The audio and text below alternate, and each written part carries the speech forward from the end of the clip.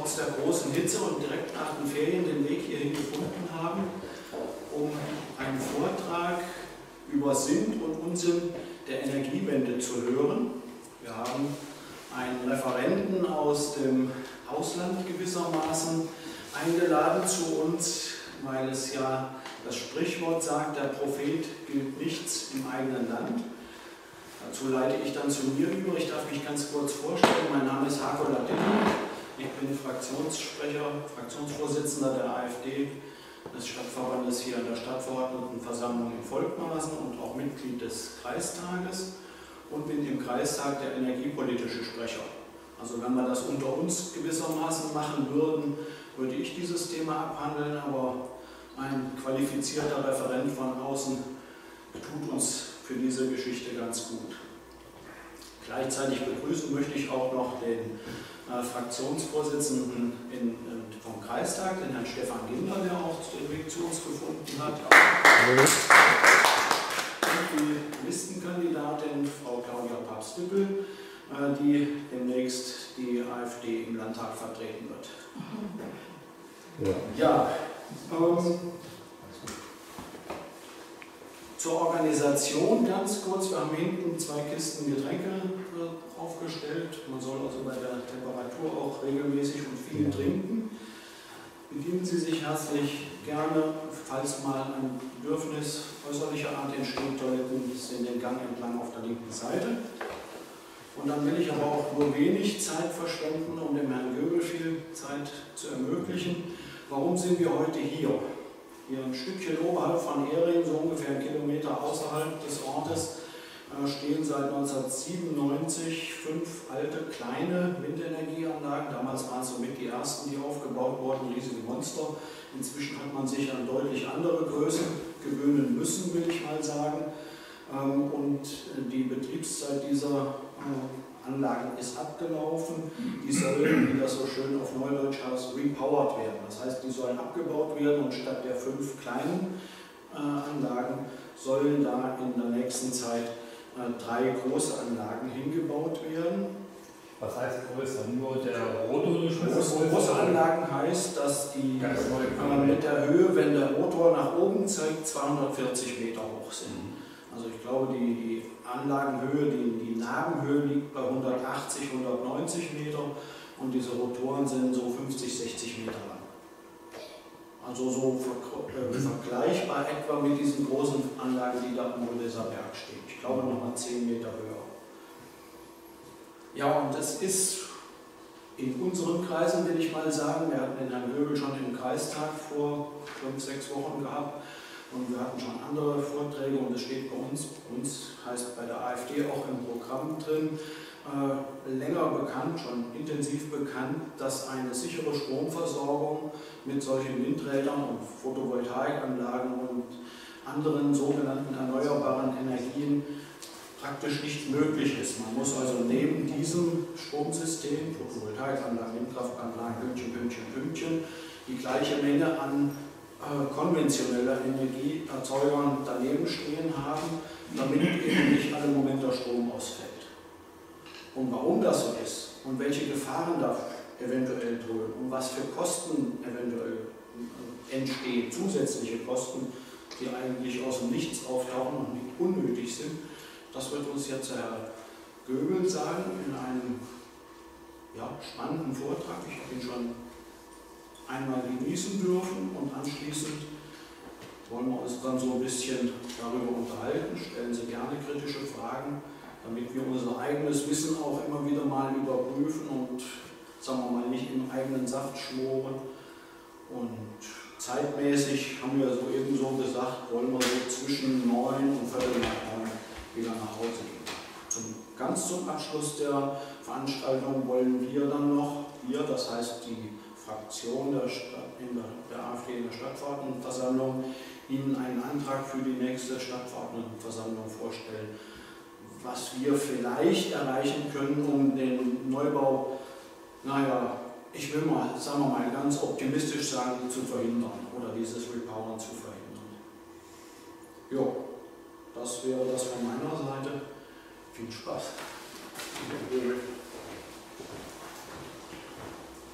Ja, begrüße Sie auch nochmal. Mein Name ist Achim Bögel.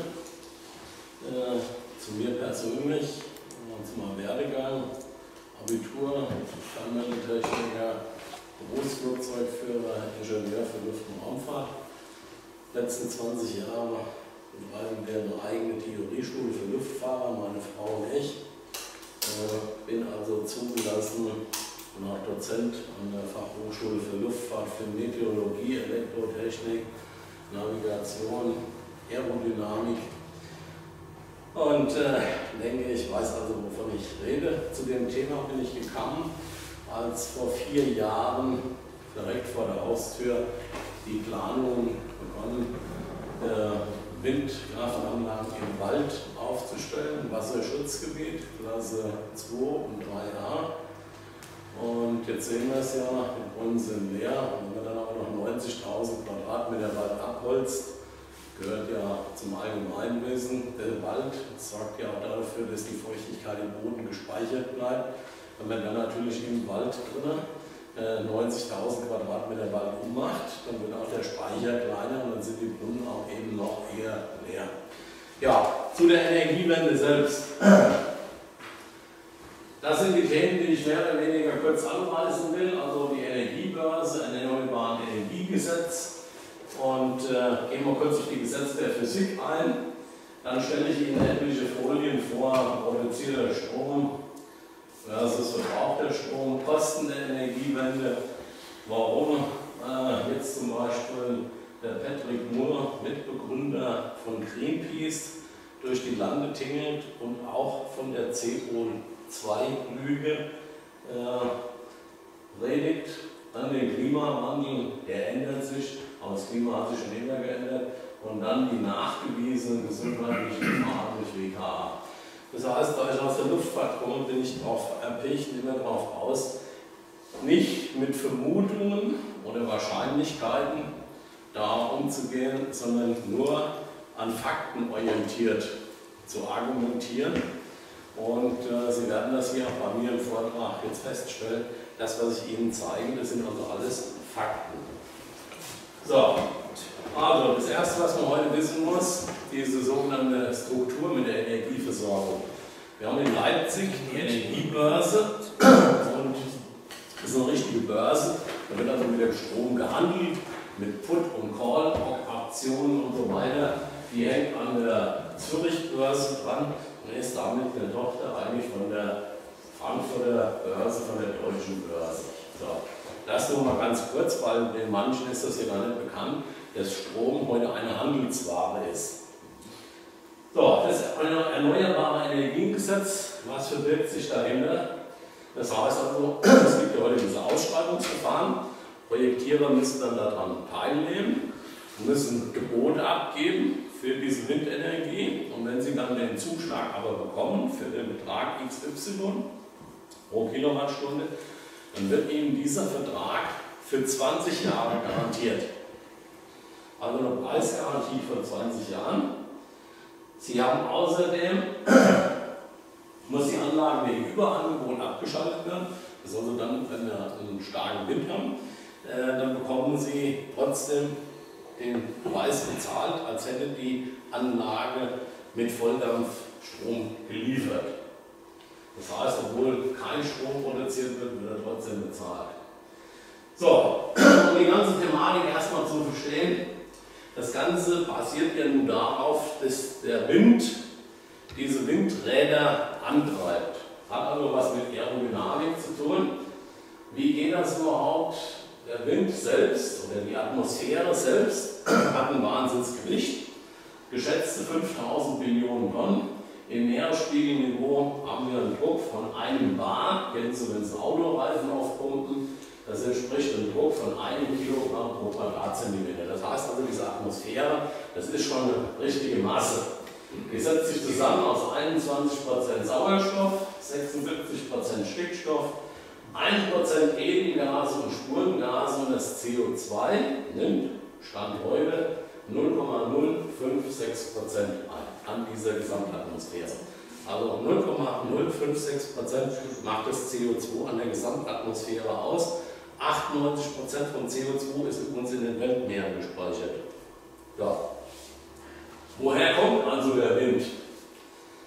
Das setzt der zweite Satz der Thermodynamik gibt da also eine plausible Antwort. Wenn Sie sich vorstellen, Sie hätten jetzt hier zwei Wasserbehälter, der ist ganz voll, eine Regentonne, die ist ganz voll und hier haben Sie einen, die ist leer. Sie verbinden die hier unten jetzt mit einem Schlauch und hängen jetzt hier ein Messgerät dazwischen. Dann werden Sie feststellen, dass Sie hier an den Punkten enormen Druck haben. In dem Moment, wo Sie den Hahn aufdrehen und die beiden sind gleich voll, egal ob die halb oder ganz voll sind oder nur viertel voll, werden Sie feststellen, dass Sie hier unten keinen Druck mehr haben. Druck ist null. Und genauso funktioniert das in der Atmosphäre.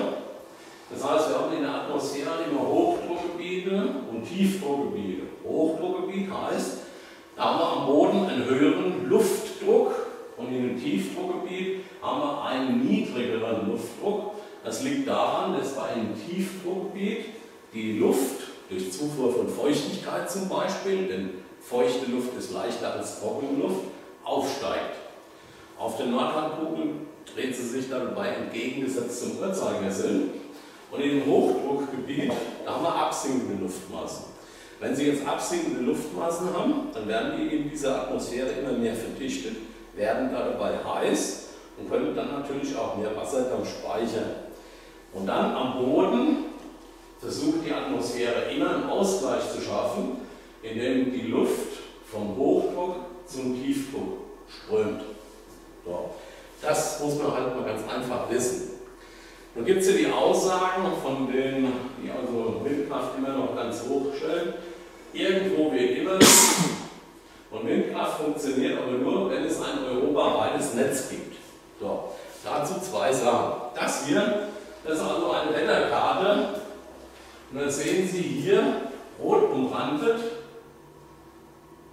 ein Hochdruckgürtel. Sie haben hier einen Hochdruck und hier einen Hochdruck. So wie das jetzt zum Beispiel den ganzen Juli war.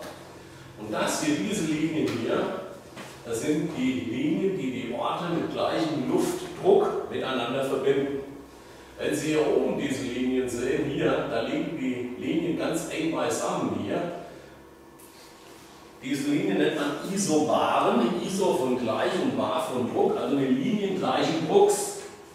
Und jetzt wissen Sie ja, wir haben also nur dann Wind in der Atmosphäre, wenn wir auch genug Druckunterschied haben. Das heißt, Sie sehen aber hier, dass wir hier über ganz Europa, so wie jetzt im ganzen Juli, nicht eine Isobare liegen haben. Das heißt, wir haben in ganz Europa keinen Druckunterschied. Und das heißt, wir haben auch in ganz Europa keinen Wind. Das wird Ihnen jeder Meteorologe ganz einfach bestätigen. Das war jetzt im Juli wieder ganz gravierend. Und so sehen Sie jetzt hier diese Karte. Diese, diese Flipchart hier, die zeigen Ihnen folgendes. Hier oben, diese roten Linien, das ist die installierte Nennleistung. Das heißt, würden alle 30.000 Windkraftanlagen mit Volldampf laufen, dann würden wir hier 55.000 Megawatt Strom daraus erzielen. Das heißt, diese rote Linie hier, das ist der Anschlag hier oben. Das ist das, was die derzeit in Betrieb befindlichen 30.000 Windkraftanlagen maximal an Strom liefern können, wenn der Wind stark genug ist. Das hier unten ist dunkelblaue. Das ist das, was sie tatsächlich produziert haben. Im Juli 2018. Das heißt, der Kraft hat eine Riesenlücke. Wenn Sie das in Prozentzahlen ausrechnen, hatten wir im ganzen Juli von dem ganzen Energiebedarf, der da war, wurde nur 1,4 Prozent durch Windkraft gedeckt. Nur 1,4 Prozent von der ganzen Energie, die wir gebraucht haben, wurde im Juli durch Windkraft gedeckt. So, und das ist das, wo jedem einleuchtet, in diesen Zeiten, wo wir hier auch nichts haben, da muss ja trotzdem die Energie irgendwo herkommen, es sei dann, denn man ist so der Meinung wie der Herr Al-Wazir, der sagt, es ist ein unwahrscheinlicher Luxus, 24 Stunden am Tag, sieben Tage die Woche Strom zu haben. Das haben 97% der Menschheit nicht. Auch wir müssen uns davon verabschieden. Die Industrie muss lernen, dann zu produzieren, wenn Strom da ist. Und wenn die Tiefkühltruhe auf minus 30 Grad gekühlt wird, dann macht das nichts, wenn mal zwei Tage kein Strom da ist, dann ist die ja immer noch bei minus 18 Grad. Aussage von Herrn Al-Wazir im Hessischen Landtag. Und das meint er ernst. Ja, das meine er ernst. So. Und hier sehen Sie jetzt das ganze europaweit. Das heißt, hier das hellblaue ist der Wind Germany und das dunkelblaue ist der Wind Europa und hier stehen die Länder drin. Und da sehen Sie, das ist genau dieser Zackelstrom. So. Und das ist der Grund, warum einfach jeder sofort erkennen muss, mit der Windkraft selbst können wir, wenn wir keine Speichermedien haben und da ist überhaupt nichts in Sicht, können wir keine Energieversorgung sicherstellen. Das ist eine ganz einfache Binsenweisheit. Ist hier an jeder Chart nachzusehen. Es kommt aber noch hinzu, das hier war im Januar 2017, da haben wir eine sogenannte Dunkelflaue, das heißt eine Inversionswetterlage. Wenn wir im Winter ein Hochdruckgebiet bekommen und die Luftmasse sind relativ kalt, dann drückt die Luft von oben nach unten. Jetzt kann diese Feuchtigkeit da drin nicht mehr gasförmig gespeichert werden. Das heißt, sie kondensiert aus, dann haben wir Nebel oder Hochnebel. Und durch diesen Hochnebel werden die Sonnenstrahlen nach oben reflektiert. Diese Hochdruckgebiete, die haben auch Ausdehnungen von ganz Europa und dann haben wir auch wieder keinen Druckunterschied und dann haben wir auch keinen Wind. Und das war also hier die Situation. Hinzu kommt, dass dann die Solarenergie auch tagsüber komplett ausfällt. Und da haben wir dann hier die Zeiten gehabt, wo das Netz kurz vorm Zusammenbruch stand, weil einfach so gut wie überhaupt nichts von Wind- und Solarenergie da war. Das lag unter einem Prozent.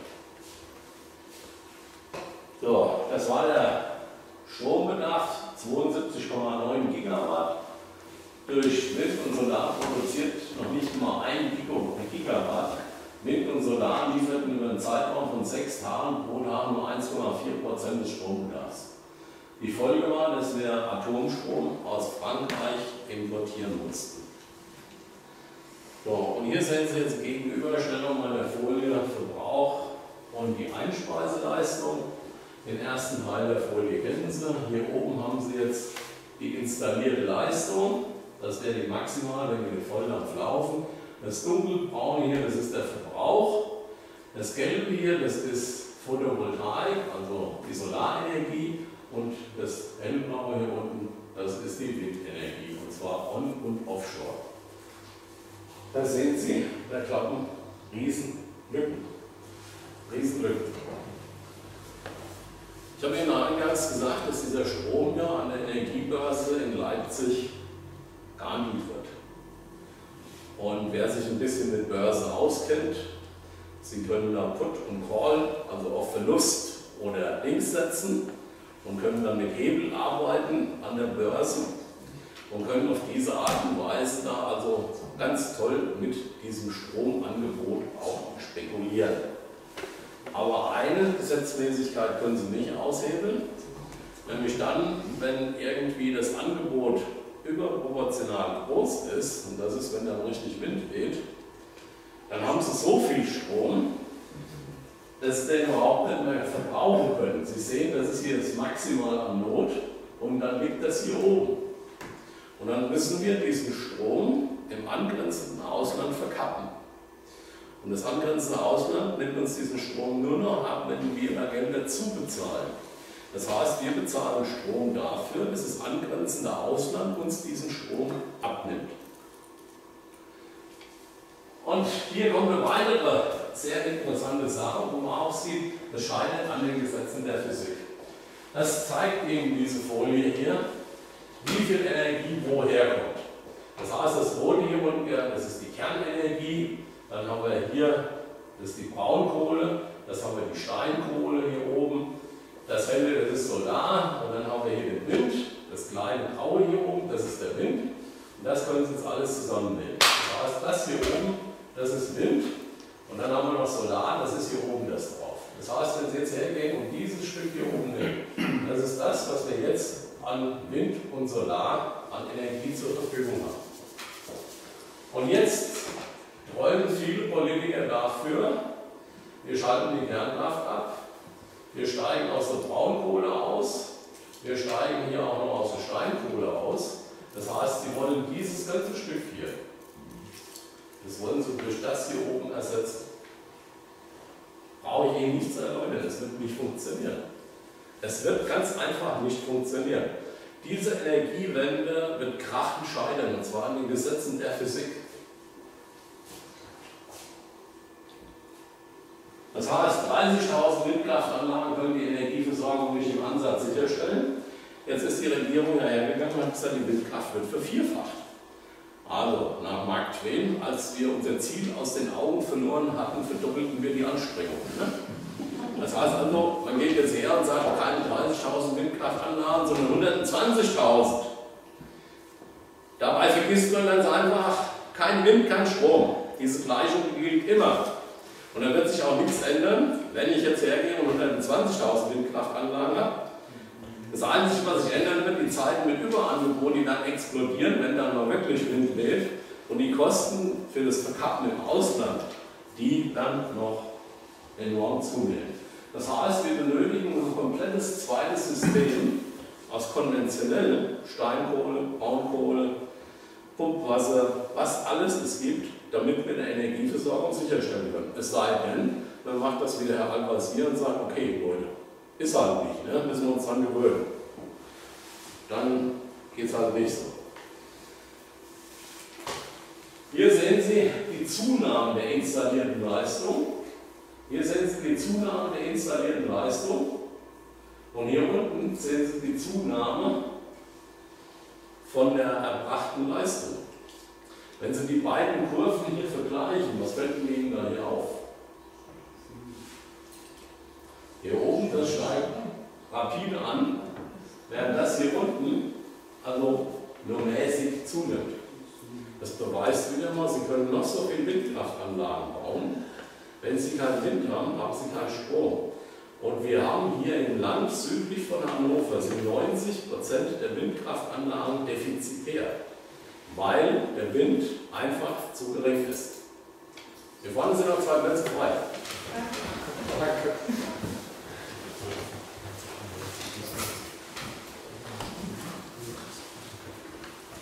Auch hier sehen Sie, das waren so die Maximumwerte mit Energie, und zwar äh, war das am 29. oder 28. März 2016 äh, da war das mal außergewöhnlich viel, weil da hatten wir richtig Wind gehabt. Und was ist passiert? Weil wir mehr Wind hatten und obwohl Braunkohle, Steinkohle gedrosselt wurde, war es Überangebot da. Sie haben ja gesehen, die installierte Leistung ist ja viel höher als das, was wir brauchen. Und wenn dann mal Wind da ist, dann haben wir mit einem Schlag so viel Energie, dass wir die überhaupt nicht äh, brauchen können. Und dann wird die ins Ausland verkauft. Und dann ist der Folge, dass an der Börse der Preis ins Negativ rutscht. Wir haben zu viel Strom da, kommt auch vor. Und dann gibt es Tage, da bezahlen wir wirklich Millionen, wirklich Millionenbeträge dafür, dass das angrenzende Ausland uns diesen Strom, den wir zu viel haben, in der Windkraft, abnimmt. Das war also hier zum Beispiel der Fall an diesem 28. Da waren einen Tag 1,4 Millionen Euro dazu bezahlt, dass das angrenzende Ausland uns den Strom abgenommen hat. Dann gibt es da noch so ein Datum, gehe ich drüber weg, hier, da haben wir 5,1 Millionen bezahlt. Das war im Mai 2016 und dieses Jahr am 1. Mai, weil hier die Anzahl der installierten Anlagen immer zunimmt, am 1. Mai, am Tag der Arbeit 2018, haben wir 40 Millionen Euro dafür bezahlt, dass das angrenzende Ausland uns den Strom abgenommen hat. Und all das bezahlen wir über die EEG-Umlage mit. Wir, wir Deutschen, wir haben mittlerweile in Europa mit Abstand die höchsten Strompreise, mit Abstand. Das heißt, diese 40 Millionen hier, die haben wir an einem einzigen Tag bezahlt. 2016 kostete die Energiewende nach Berechnungen des Instituts der deutschen Wirtschaft 31 Milliarden Euro. Das ist diese Zahl hier, 9 Nullen. 31 Milliarden Euro pro Jahr, das sind 596 Millionen Euro in der Woche, 85 Millionen Euro am Tag und 3,5 Millionen Euro pro Stunde.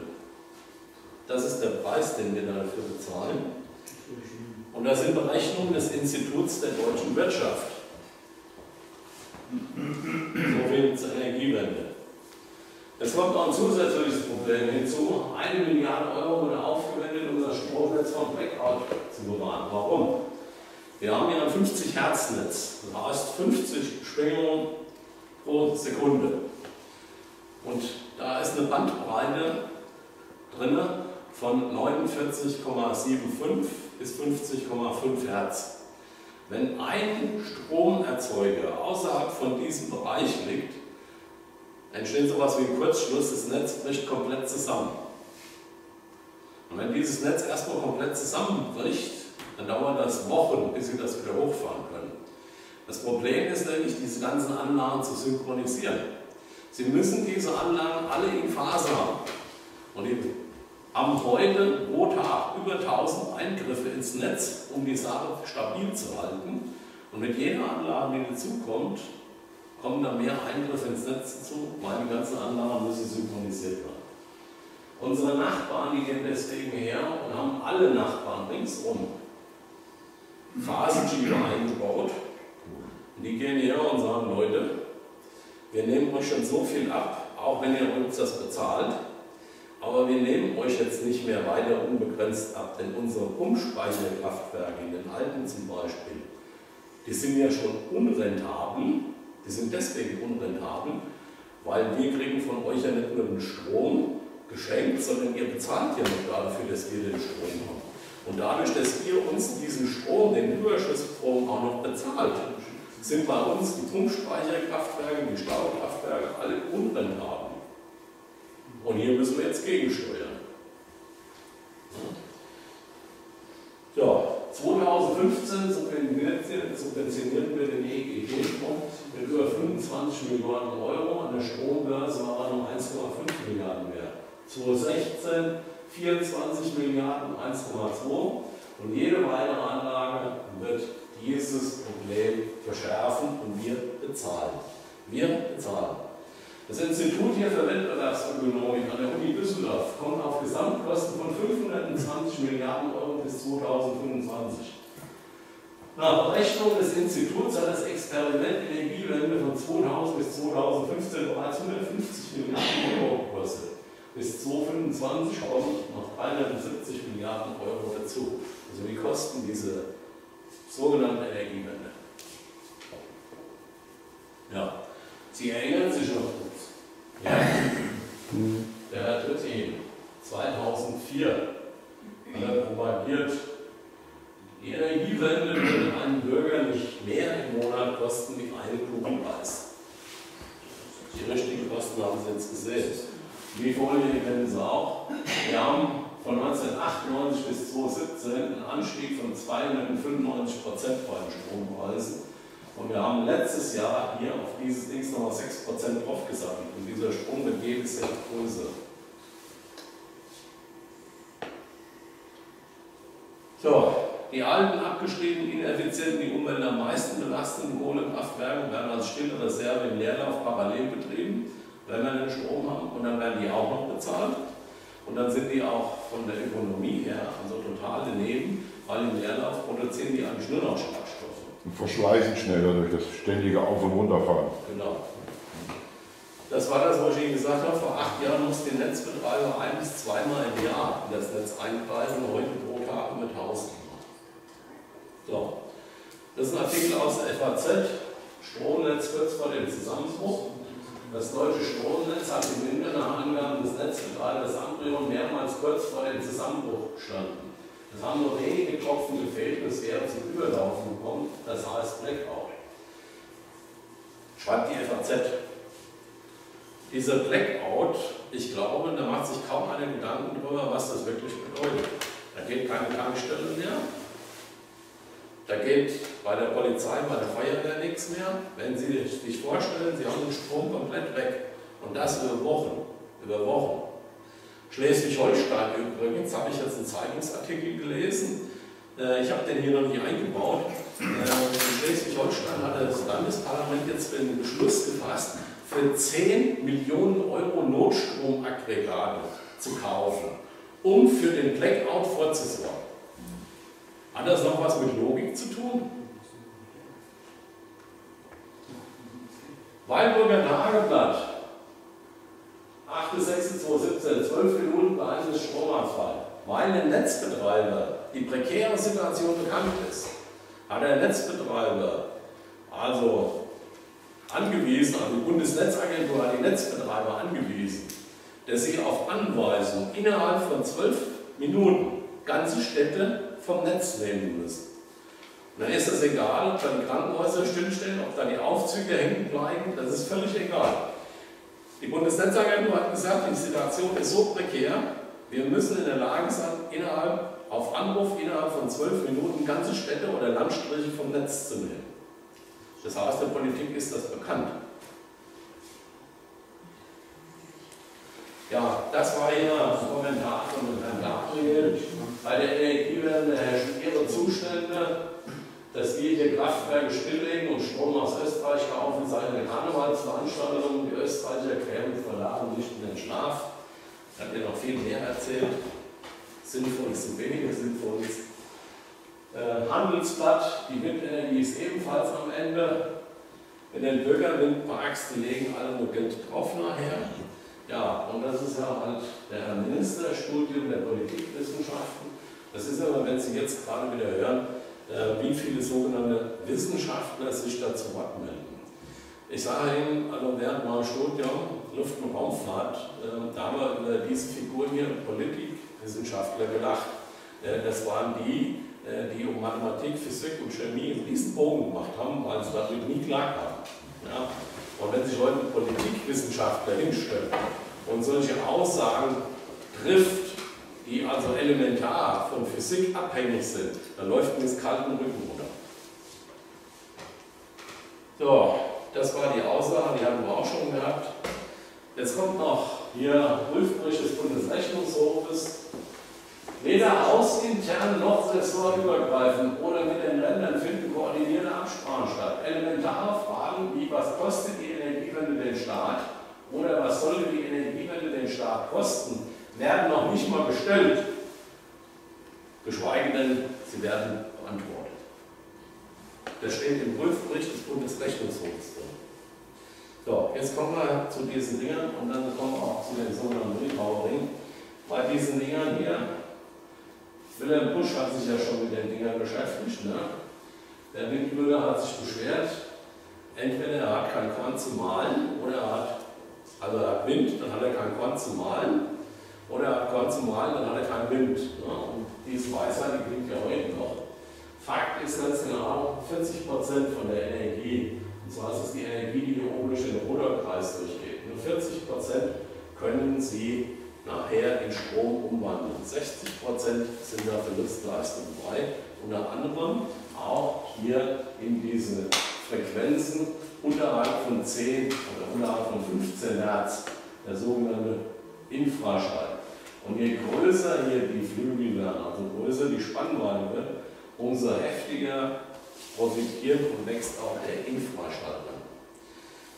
Es ist natürlich was dran, dass die Windgeschwindigkeit das A und O ist. Das heißt, die Windgeschwindigkeit geht hier in der dritten Potenz in diese Rechnung ein. Das heißt, banal abgekürzt ausgedrückt, Sie haben 10% weniger Wind, dann haben Sie 30% weniger Ertrag. 10% weniger Wind, 30% weniger. Natürlich auch 10% mehr, auch 30% mehr an Dings. Ja, und deswegen werden die Anlagen also hier immer höher. Da sehen Sie, das waren die Anlagen von 1998 und heute reden wir über die Anlagen hier. Als größten Vergleich. Nachher nochmal ein Bild mit dem Flugzeug. Aber das hier, das ist Höhenprofil der Windgeschwindigkeit. Jetzt gucken Sie sich mal an. Hier unten ist die Windgeschwindigkeit abgetragen und hier ist die Höhe über Boden abgetragen. Wenn Sie jetzt hergehen und sagen, in 50 Meter Höhe, ja, da hätten Sie eine Windgeschwindigkeit von 4,5 Meter pro Sekunde. Dann hätten Sie 100 Meter eine Windgeschwindigkeit von 5 Meter pro Sekunde. Wenn Sie aber jetzt hergehen und sagen, Sie haben in 100 Meter eine Windgeschwindigkeit von 5 Meter pro Sekunde, dann haben Sie 150 Meter nur noch 5,3 Meter pro Sekunde. Wenn Sie die Kurve nach oben hinweg verlängern, dann werden Sie feststellen, das ist nämlich das Thema Repowering. Wenn Sie jetzt eine Anlage haben, hier mit, was weiß ich, einer Nabenhöhe von 100 Metern, und die gehen her und sagen, wir stellen jetzt eine ein, mit einer Nabenhöhe von 150 Metern, da können Sie maximal 0,3 Meter pro Sekunde ernten, aber maximal. Aber dafür sind die Investitionskosten ungefähr das Sechsfache von dem, was Sie bei den kleinen Anlagen haben. Das hier, das sind die Leistungskurven von den Windkraftanlagen. Auch hier wieder kurz Erklärung. Hier unten ist die Windgeschwindigkeit abgetragen und hier ist dann die abgegebene Leistung eingetragen. Hier bei uns haben wir Windgeschwindigkeit um die 6 Meter pro Sekunde rum. 6 Meter pro Sekunde, die haben wir hier.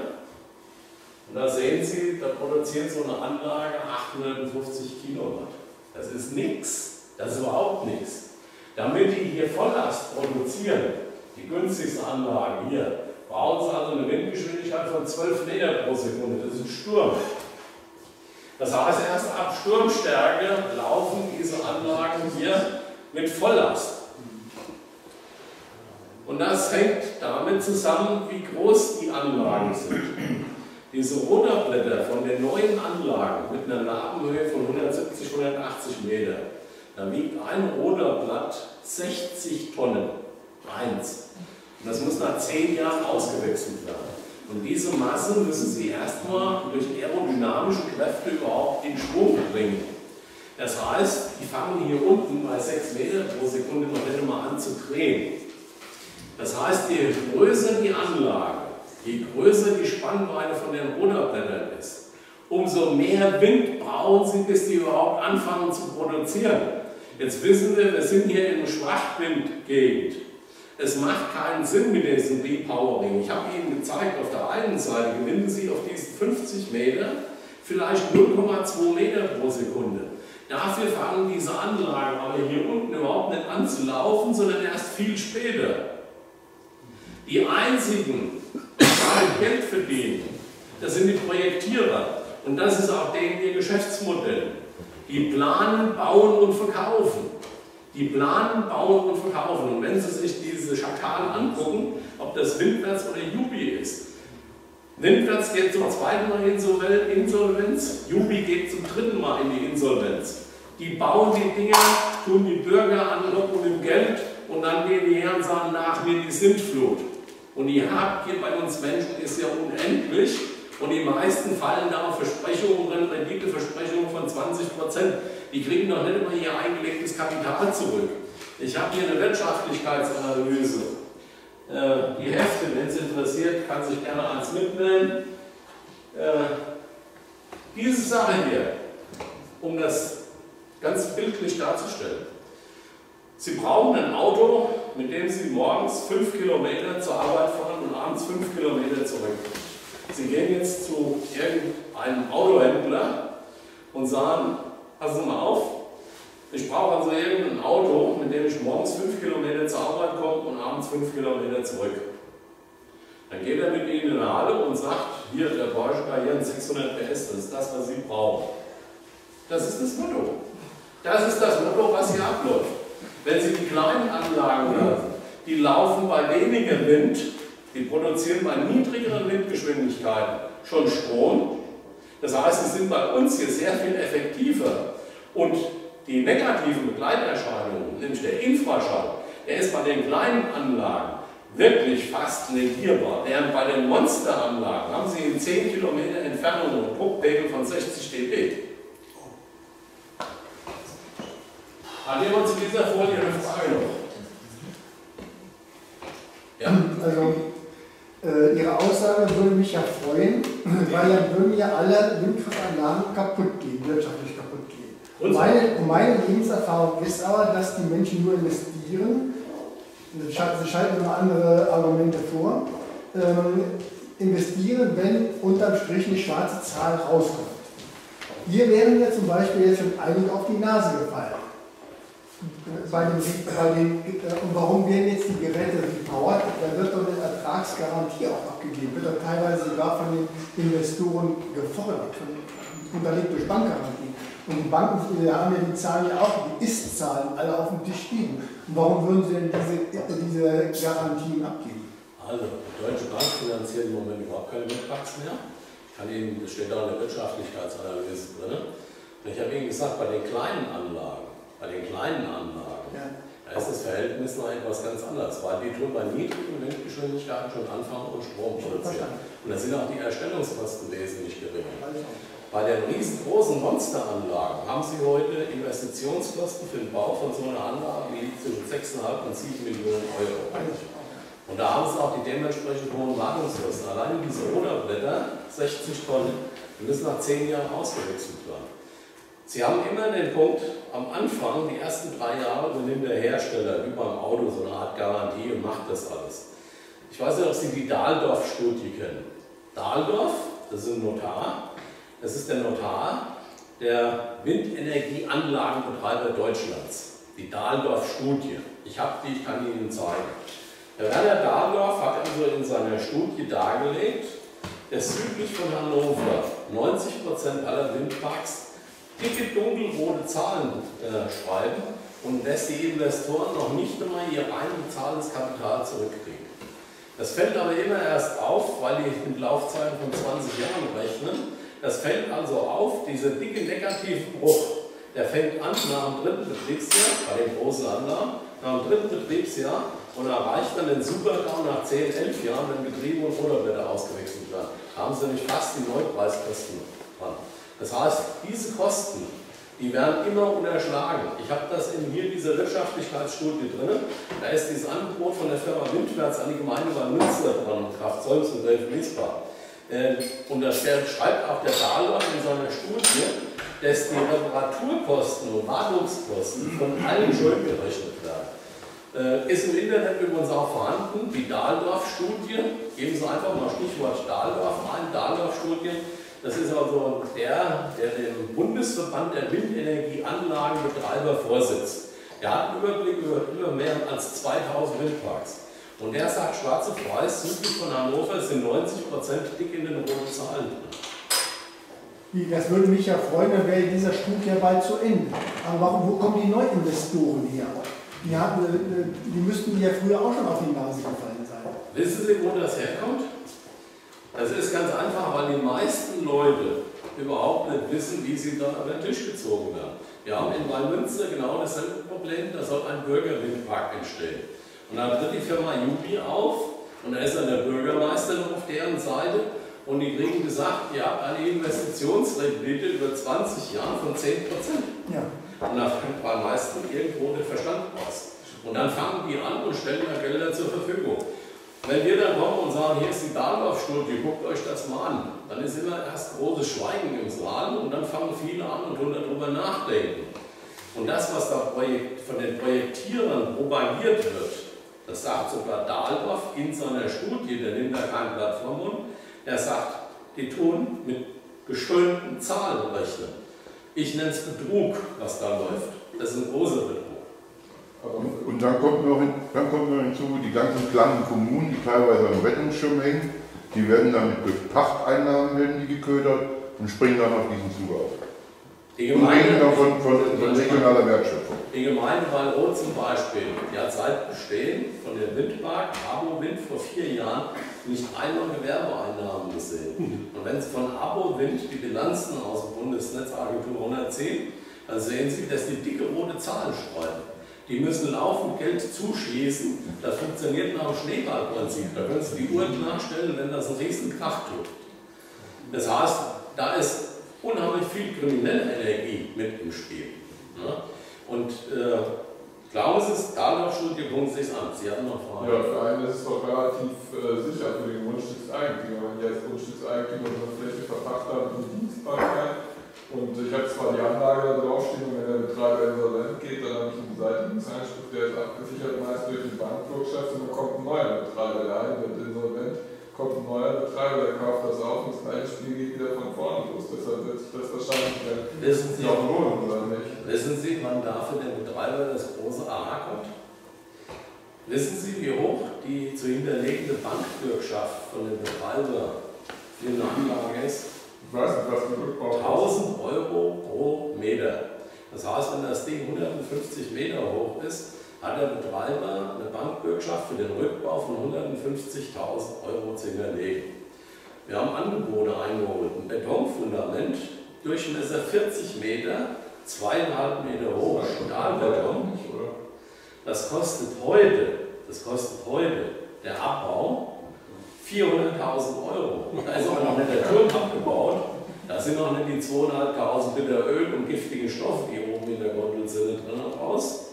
Die sind noch nicht raus. Und wissen Sie, an wen das hängen bleibt, wenn die nachher den Finger heben und GmbH geht um, dann bleibt es nämlich in der Gemeinde, in den Bürgern hängen. Die können das nämlich dann, wir können es dann letztendlich bezahlen. Und die, die jetzt so schlau sind und sagen, ich verpachte das nach Pachteinnahmen, an dem Tag, wo das Ding zurückgebaut wird, da verlieren die Schonstrümpfe, so viel Pacht können die überhaupt nicht verdienen, wie die nachher drauflegen. Sage ich Ihnen.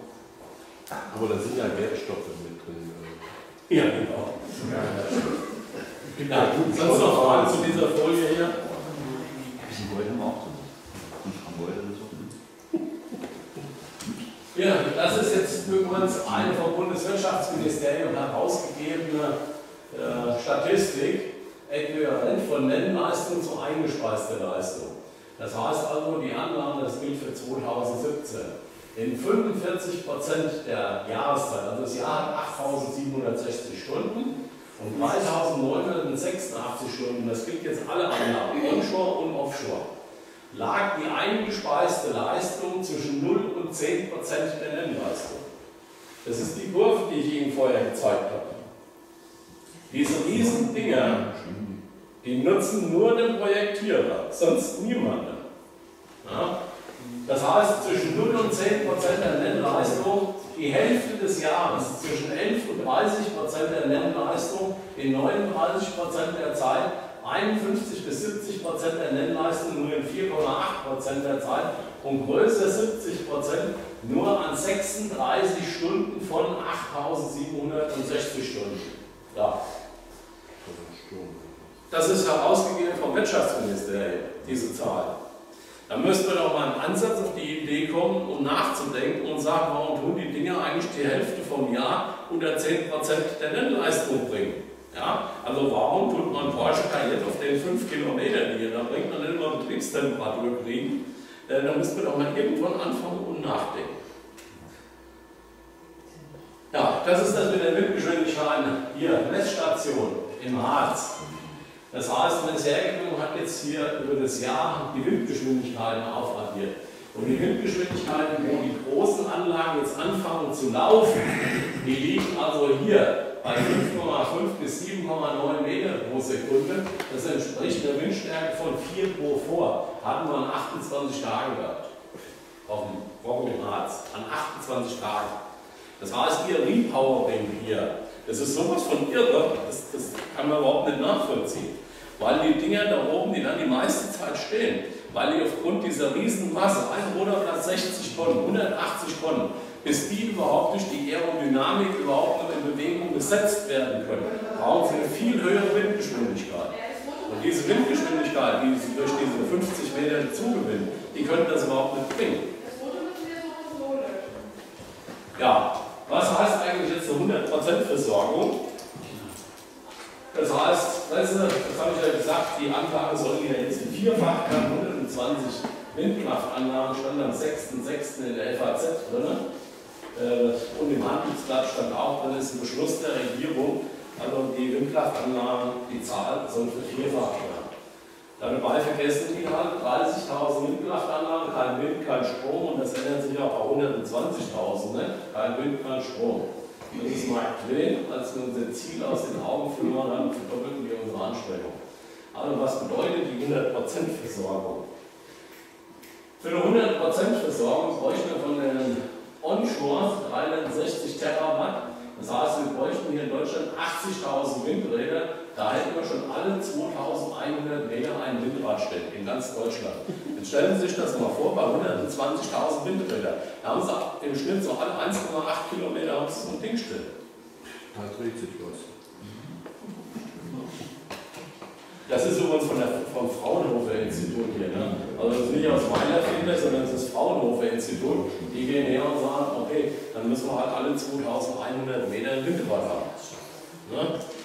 Wenn Sie jetzt, das ist die Fläche der Bundesrepublik, das ist so viel besiedelt, die Wasserflächen und dann verbleiben die und da haben Sie nachher pro Anlage knapp 2,6 äh, Quadratkilometer sowas.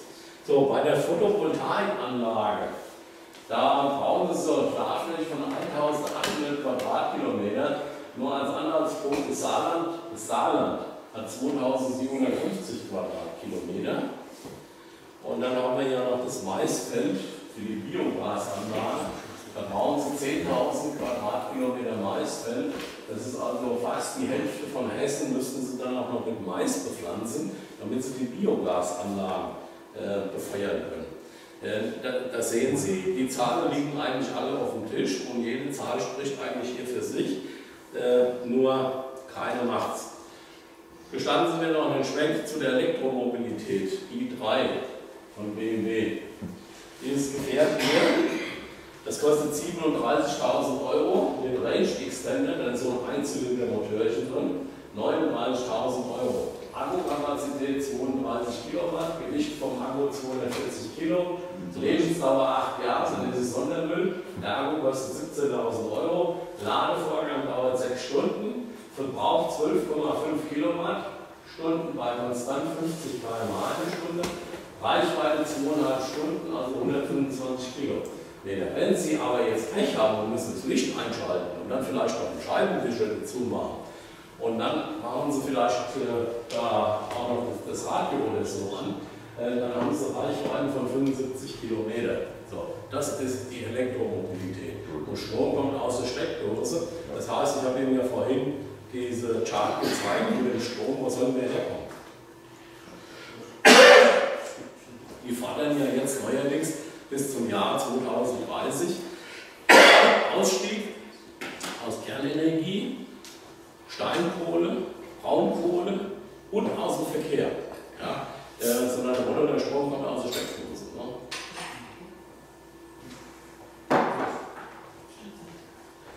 So, zum Thema CO2, Kohlendioxid. Hier in jeder Sprudelflasche steht Kohlensäure drauf. Das ist wirklich halt CO2. Wir Menschen, wir atmen bei jedem Atemstoß, tun wir CO2 ausatmen. Wenn Sie Senders Wasserflasche haben, die wird heiß und Sie machen die auf, sprudeln die. Das heißt, es gast aus. Das ist wie in den Ozeanen. Die Ozeane werden wärmer, also tut das CO2 auch richtig ausgasen. Das heißt, CO2-Ausstoß nimmt tatsächlich zu. Aber gucken Sie sich das mal an. Das CO2 hier hat also ein Gewicht von 1,84 Kilogramm pro Kubikmeter bei 15 Grad Celsius und einem Luftdruck von 1013 Hektopascal. Die Atmosphäre selbst hat ein Gewicht von 1,2 Kilogramm pro Kubikmeter. Das heißt, das CO2 ist schwerer als unsere Atmosphäre. Und deswegen steigt CO2 nämlich nicht auf, sondern CO2 sinkt auf den Boden ab. Und CO2 selbst, haben Sie vielleicht noch eine leichte Erinnerung in Schule, gab es noch was mit Photosynthese. Das heißt, Sonnenlicht, Wasser und CO2, das sind die Voraussetzungen, damit unsere Bäume wachsen können. Das CO2 sinkt auf dem Boden auf, wird dann von den Wurzeln aufgenommen und wird dann mit Wasser und Sonnenlicht, Photosynthese aufgespalten in O2, in Sauerstoff, den brauchen wir zum Schnaufen, und in die Kohlenstoffe, damit wir die Schweine füttern können, damit wir sie anschließend fressen können. Klein ausgedrückt. Das heißt also, dieses CO2, wenn es da Politiker gibt, die Ihnen was erzählen von der Dekarbonisierung und die wollen die Länder CO2-frei machen, ja, die sind unterirdisch dumm. Weil erstens atmen wir Menschen mit jedem Atemstoß CO2 aus und zweitens ist das CO2 das Lebenselixier. Das ist genau das, was auch Patrick Moore der Mitbegründer von Greenpeace überall propagiert. Das CO2 wird zum Sündenbock gemacht, das gibt es nicht. Gehen Sie mal in eine Gärtnerei. Fragen Sie mal nach dem CO2. Früher hatten wir die Gewächshäuser im Winter mit CO2 geflutet, damit das Wachstum von den äh, Pflanzen größer wurde. Das CO2 wird völlig zu Unrecht verteufelt. Das CO2 ist eine Lebensgrundlage von uns. Wir selbst atmen CO2 ab. Wenn also ein Politiker Ihnen erzählt, er will also ein Land CO2-frei machen, dann heißt das aber, er will auch das Lebewesen abschaffen. So, es geht weiter mit dem CO2. Das habe ich Ihnen gesagt. Ja, das ist das CO2. Das ist nochmal die Gesamtgewicht, hatten wir gehabt. Das heißt also, der Prozentsatz des CO2 in der Atmosphäre beträgt 0,052 Prozent. Das haben wir das gehabt. Also Prozentsatz von CO2 in der Atmosphäre beträgt 0,052 Prozent. So, jetzt kriegen wir ja hier immer diese Grafik da vorgehalten. Ne? Bezogen auf die letzten zwei Millionen Jahre war der CO2-Gehalt noch nie so niedrig. Das hier sehen Sie, das ist übrigens von der NASA herausgegeben, dieses Ding. Da sehen Sie hier das CO2, das war noch viel, viel höher wie jetzt. Was wir gezeigt bekommen hier immer, das ist dieser sogenannte Hockeyschläger. Hier, Dieses Stück, das kriegen wir gezeigt. Jetzt passen Sie mal auf, wie das aussieht, wenn Sie nur das letzte Stück gezeigt bekommen.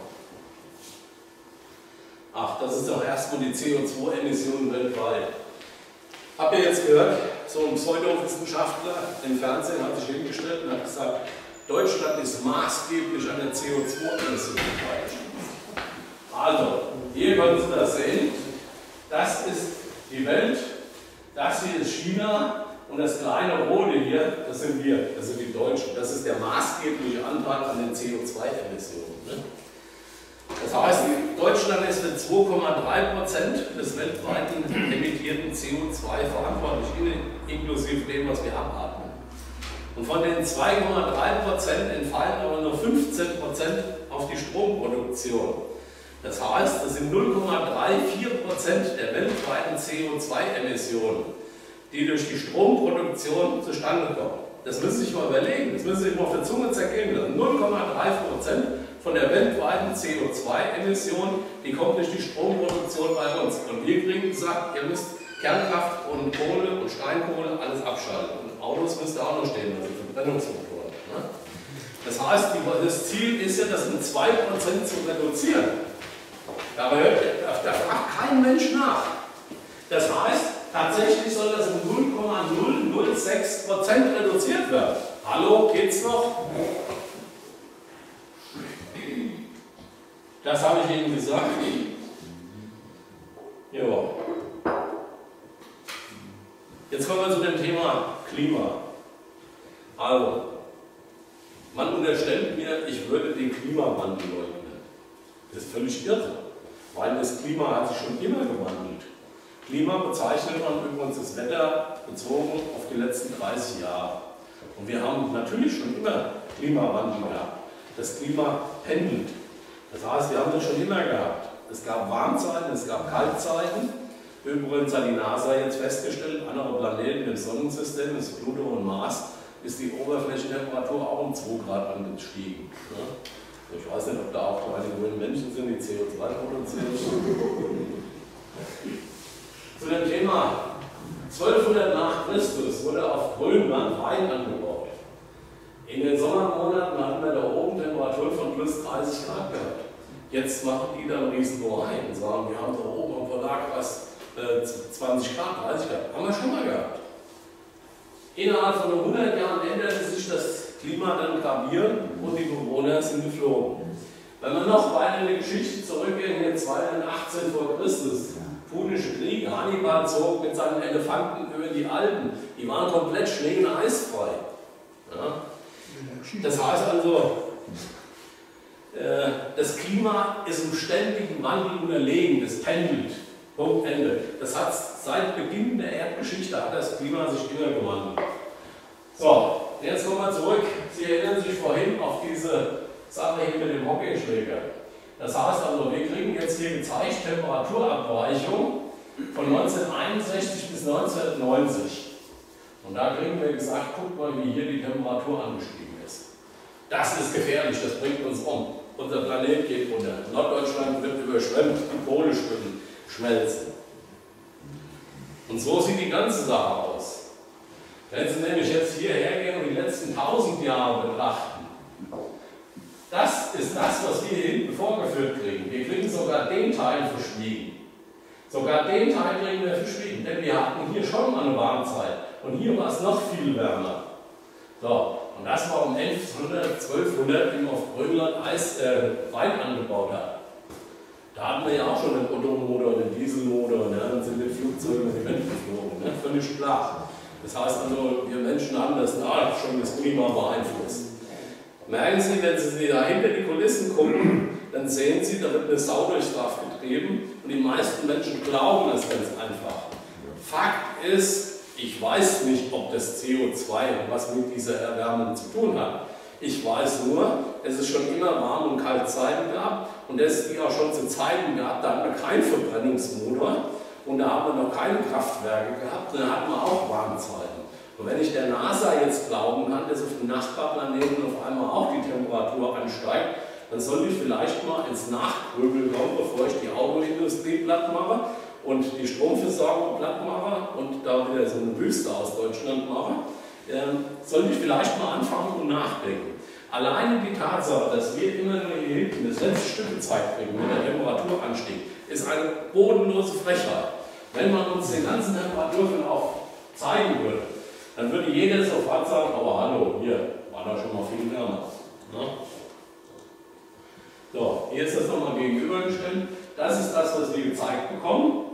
Und tatsächlich ist es nur das kleine Stück hier hinten. Das ist also diese Erwärmung. Und das ist das, was wir von der Presse, Radio, von Fernsehen verkaufen. Fakt ist, im Laufe der Erdgeschichte hat es schon immer warme Kaltzeiten gegeben, das Klima und da lag schon immer Veränderungen, es pendelt. Und dass der Klimawandel durch uns Menschen verursacht ist, ist meiner Meinung nach nicht nachgewiesen. Ich habe da jetzt kürzlich ein Zitat von Napoleon gefunden. Hat mich begeistert, ich musste das aufnehmen. Es gibt kein gutmütigeres, aber auch kein leichtgläubigeres Volk als das Deutsche. Keine Lüge kann grob genug ersonnen werden, die Deutschen glauben sie. Um eine Parole, die man ihnen gab, verfolgen sie ihre Landsleute mit größerer Erbitterung als ihre wirklichen Feinde. Ich will das nicht kommentieren. Wir kommen zum letzten Abschnitt, nämlich zum Thema Gesundheit. Da geht es hauptsächlich hier um den sogenannten Infraschall. Also, der erste große Fehler, überall, wo Sie mit Politik oder sonst was diskutieren, sagen die, der Infraschall liegt unter der Wahrnehmungsschwelle. Das heißt, Wahrnehmen funktioniert über unsere fünf Sinne. Manche haben ja einen sechsten Sinn, ne? aber der Normalsterbliche hat fünf Sinne. Riechen, schmecken, fühlen und so weiter. Das für diese fünf Sinne nehmen wir Dinge wahr. Es gibt aber Dinge, die nehmen wir über, dieses Dinge, über diese Sinne nicht wahr. Radioaktivität zum Beispiel oder Kohlenmonoxid, das heißt, wenn wir einen Auspuff schnüffeln. Das heißt, das sind auch Dinge, dafür haben wir keine Wahrnehmungsschwelle. Aber unser Körper reagiert mit tödlicher Präzision, sowohl bei der Radioaktivität auch als beim Kohlenmonoxid, wenn wir genug geschnüffelt haben. Und wenn wir da im Zusammenhang von Infraschall reden, ist das eine Verhöhnung von den ganzen vielen tausend Menschen, die ernsthaft erkrankt sind. Wenn man hergeht und sagt, der Infraschall liegt unter der Wahrnehmungsschwelle, nur weil wir das nicht hören. Die Frau Dorn hat im Hessischen Landtag bei der Anhörung gesagt, ich kann mir nicht vorstellen, dass etwas, was ich nicht höre, mich krank macht. Ich habe sie dann mal gefragt, ob sie von Radioaktivität und Kohlenmonoxid was gehört hätte. Das würde sie auch nicht wahrnehmen, das würde sie umbringen. Man muss nämlich hier unterscheiden zwischen der Wahrnehmungsschwelle und der Reaktionsschwelle. Das ist der Unterschied. Also lassen Sie sich nie auf dieses Glatteis führen, wenn Ihnen einer was erzählt, der Infraschall liegt unter der Wahrnehmungsschwelle. Natürlich sind Frequenzen unter 15 Hertz, nehmen wir nicht mehr wahr, hören wir nicht mehr. Aber unser Körper reagiert doch darauf. Das ist der Punkt. Also ganz wichtig zu unterscheiden zwischen Wahrnehmungsschwelle und Reaktionsschwelle. Fakt, Infraschall, das heißt Frequenz unter 16 Hertz können wir nicht hören. Diese Frequenzen liegen unter der Wahrnehmungsschwelle. Der Körper reagiert aber auf Frequenzen unter 10 Hertz. Man spricht von einer Reaktionsschwelle. In diesem Frequenzbereich, da liegen zum Beispiel die Wellen und Schwingungen, die beim Erdbeben, Erdbeben entstehen. Erdbebenwarten haben in der Nähe von Windkraftanlagen ausgedient, weil diese Schwingungen so stark sind, dass die keine Erdbeben mehr nachweisen können. Der eine oder andere wird sich erinnern, es gibt Tiere, die spüren dieses Erdbeben und die fangen an, werden nervös und hauen ab, schon bevor das eigentliche Beben da ist. Das sind die Schwingungen, die sich im Boden fortsetzen. Fakt ist, auch Menschen haben dieses System noch. Nur haben wir das nicht verlernt zu nutzen. Aber dieses System spricht bei uns Menschen tatsächlich noch an. So, das sind die Frequenzen und jetzt möchte ich Ihnen hier kurz was vorführen. Hier geht es nämlich um dieses Thema.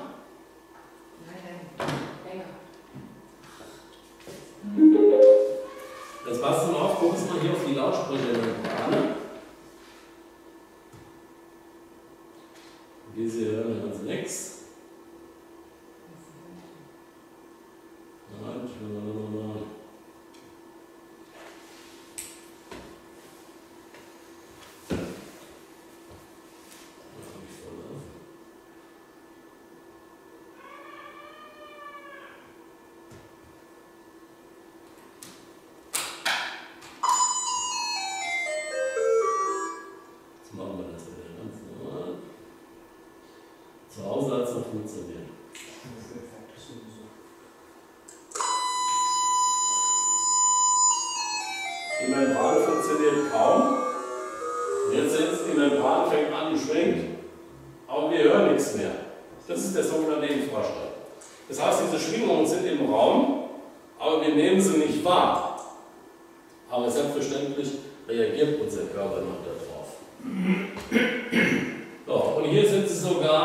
Sichtbar gemacht, diese Schwingungen. Das ist bei Seenebel oben an der Küste aufgenommen. Das, was hier nach hinten geht, das ist der von den Anlagen ausgehende Infraschall. Und wenn Sie jetzt mal genau gucken, LUBW, Landesanstalt Umwelt Baden-Württemberg, hat gemessen und hat gesagt, es gibt ja erst gar keinen Infraschall. Wo haben die gemessen? Abstand 100 Meter. Da ist das Ding überhaupt nicht am Boden. Nebenbei bemerkt hat sich herausgestellt, LUB hatte überhaupt keine Messgeräte, die unter 15 Hertz messen.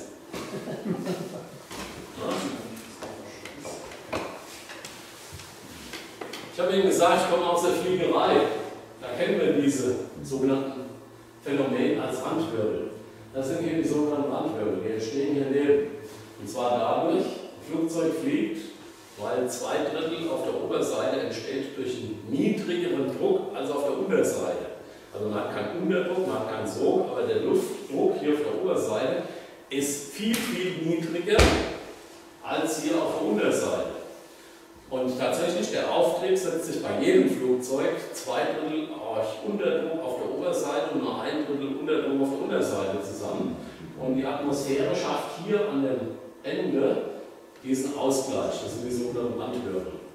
Und das ist genau dasselbe aerodynamische Prinzip wie bei Windkraftanlagen. Hier an den Enden findet ein Druckausgleich statt, wie bei Hoch- und Tiefdruckgebiet. Nur bildet sich das als Wirbel hier aus. In der Luftfahrt kennt man das, wenn eine 747 startet und ich stehe da nach hinten mit einem CJ, also so einem Jet, so einem kleinen Jet, muss ich einen Abstand von drei Minuten halten. Wenn ich hier mit einem kleinen Flugzeug Wirbel drin fliegen würde, ist Schicht im Schacht. Kann ich nichts mehr machen. Das haut mich ins Kreuz, bis ich unten bin. Da war kurz nach dem 11. September in den USA ist Airbus abgestürzt. Der ist in die Wirbelschleppen einer vorausfliegenden 747 eingeflogen. Der Airbus fing an, hat eine Fliesen gemacht.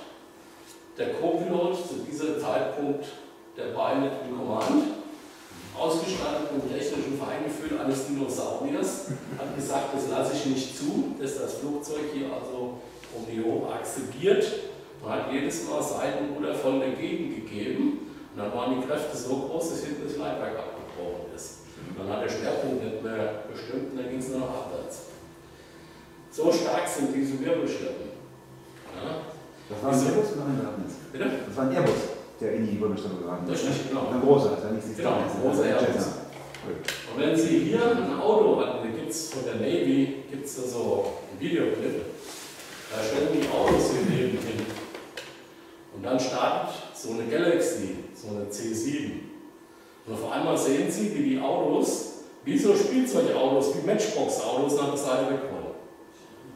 Wie von Geisterhand. Und das sind diese Schleppen, diese sogenannten Wirbelschleppen in der Fliegerei. Und das ist aber der Infraschall. Sie hören da nichts von, aber das hat mächtig Dampf drin. Das ist hier von der Aachen äh, eine Animation, so breiten die sich jetzt hier aus. So, und jetzt kommen wir wieder auf das Repowering zurück. Die Größe von diesen Wirbelschleppen oder von den Infraschall nimmt mit der Spannweite proportional zu. Das heißt, wenn Sie jetzt mal vergleichen, hier haben Sie eine 747 und hier haben Sie die Anlage, die Ihnen jetzt blöd. Das kann nicht viel passieren, weil die im Harz gehen sie nur 28 Tage und hier oben würden sie vielleicht an 5 Tagen gehen. Also ist ja nicht so schlimm. Hat schon was. Ja. Und hier habe ich eine A380 unter das Ding geschoben. Jetzt sehen Sie einfach mal die Größenvergleiche. Das ist, das ist irre, was da passiert. Ja, die Reaktion des Körpers auf Infraschall sind vielfältig. Vor 14 Tagen hat sich der Verband der Schallopfergeschädigten, Infraschallopfergeschädigten gebildet, hier oben bei Kassel, äh, haben einen Wahnsinnszulauf. Wir kriegen jede Menge Zuschriften, wir, vertreiben, äh, wir vertreten drei Leute äh, bei der Klage. Äh, das sind Menschen, denen geht es ganz, ganz, ganz, ganz mies. Äh, wie wirkt sich das aus? Also, bei unserem Gleichgewichtssystem, damit wir gerade auslaufen können, im Normalfall im Alkohol, haben wir hier unten Ohr das sogenannte Vestibularorgan. Das sind so drei Bogengänge. Diese drei Bogengänge hier, die haben hier innen unsere Sinneshärchen und hier haben wir so eine gallertartige Flüssigkeit drin. Aber in jedem Ohr haben wir so ein Organ und dieses Organ ermöglicht es uns festzustellen, auch mit geschlossenen Augen, ich drehe mich. Wenn ich mich jetzt so hier drehe, dann ist dieser Bogengang hier, da ist es so, dass diese gallertartige Flüssigkeit erst stehen bleibt weil ich mich bewege, biegen sich die Härchen. Und das kriege ich mitgeteilt. Aha, der Bursche dreht um die Achse. Ne? Das nebenbei bemerkt auch fatal, wenn Sie einen über Durst getrunken haben. Dann verändert sich hier diese Hypophyse, die Flüssigkeit, wird dünner. Und wenn Sie dann noch den Fehler begeben und geben sich in die Horizontale, dann stimmen diese Bogengänge hier nicht mehr. Und deswegen wird es Ihnen dann so katastrophal schlecht, wenn Sie ins Bett gehen. Setzen Sie sich lieber ins Sessel. Ne? Und diese Sinneshärchen hier, die sprechen auf diese Frequenzen an. Und deswegen haben viele Menschen am Anfang Probleme mit dem Gleichgewicht. Denn es ist immer schwindelig, weil durch diese Frequenzen, die wir nicht hören, aber diese Sinneshärchen trotzdem stimuliert und bewegt werden. Und deswegen wird das auf. Nächstes Problem ist Blutdruck, der nicht regulierbar ist. Wir haben hier eine Anschlaganregung, jedem haben wir die Barorezeptoren sitzen. Das heißt, da wird unter anderem der Blutdruck geregelt. Wenn diese Barorezeptoren also permanent stimuliert werden, dann wird der Blutdruck mal hoch, mal runter, er ist nicht mehr in den Griff zu kriegen. Und äh, das ist das nächste nicht regulierbare, nicht einstellbare Blutdruck. So, jetzt gibt es die Studie von Markus Reichenberger und Forscher an der Charité Berlin oder PDP Braunschweig und bei E. Hamburg. Wurde am 12. April 2017 veröffentlicht. Infraschall induzierte Veränderungen der Hirnaktivitäten sind nachgewiesen und sichtbar gemacht.